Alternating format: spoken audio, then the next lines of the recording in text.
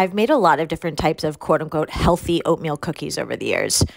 They're inspired by Liz Moody's version in her book Healthier Together called The Best Healthy Chocolate Chip Cookie. And I think the secret to her formula is using almond butter in the batter, which kind of adds heft to the cookies, keeping them gooey and soft, even with the absence of flour.